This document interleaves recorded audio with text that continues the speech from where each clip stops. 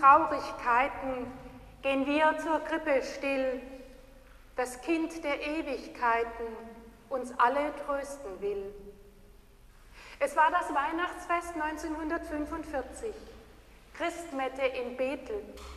Der Anstaltspfarrer Pastor Friedrich von Bodeschwing hatte die Gewohnheit, bei festlichen Gelegenheiten mit seiner Gemeinde einen kleinen Vers auswendig zu lernen. Dieser Merkvers fasste die Gedanken seiner Ansprache zusammen.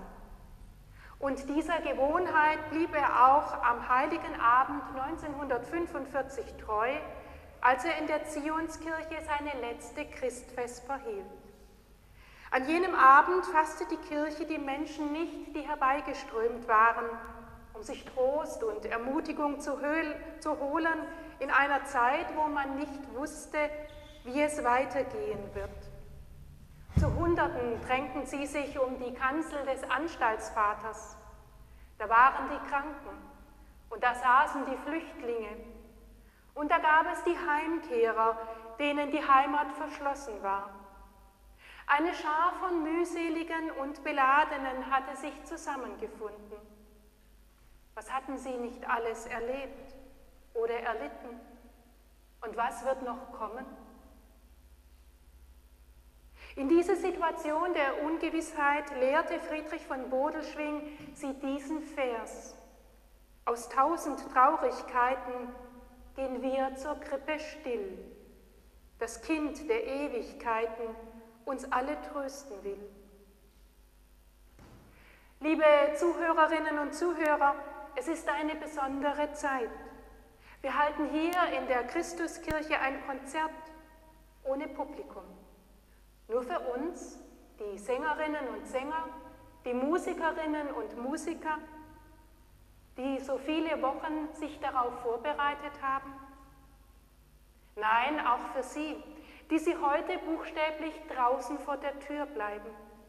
Die Musik und die Texte der Lieder mögen Ihnen Trost und Ermutigung sein auf dem Weg des Advents, dem Weg, der dem entgegensieht, was auf uns zukommt. Das Volk, das im Finstern wandelt, sieht ein großes Licht. Und über denen, die da wohnen im finstern Lande, scheint es hell.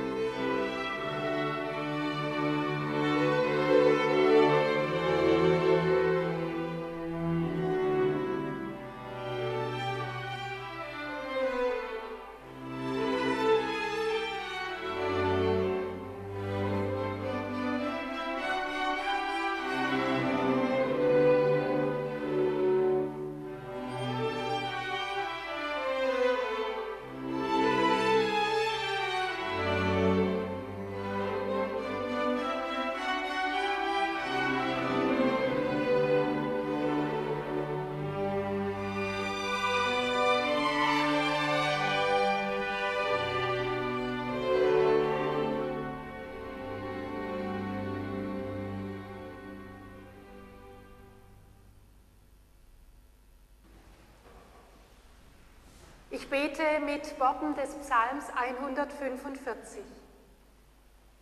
Ich will dich erheben, mein Gott, du König, und deinen Namen loben immer und ewiglich.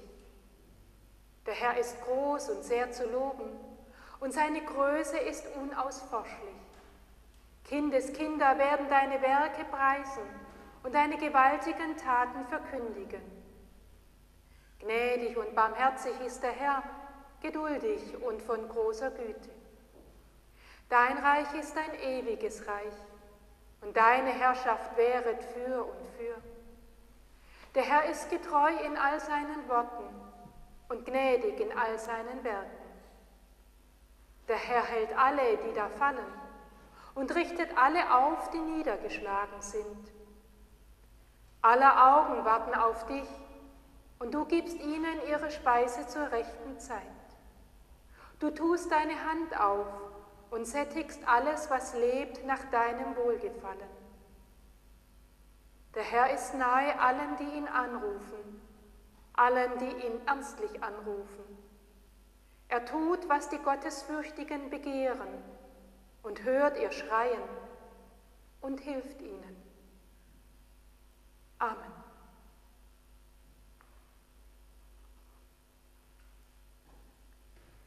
In Anlehnung an diesen Psalm 145 dichtete 1893 Josef Gabriel Reinberger eine Adventsmotette, eine Adventsmotette für den vierten Sonntag im Advent. Nahe ist der Herr allen, die ihn anrufen, mit Wahrhaftigkeit. Nahe ist der Herr, mein Mund wird das Lob des Herrn sprechen, und jedes Fleisch rühme, rühme seinen heiligen Namen. Komme, Herr, und wolle nicht zögern, die Untaten deines Volkes Israel zu vergeben. Prope est Dominus.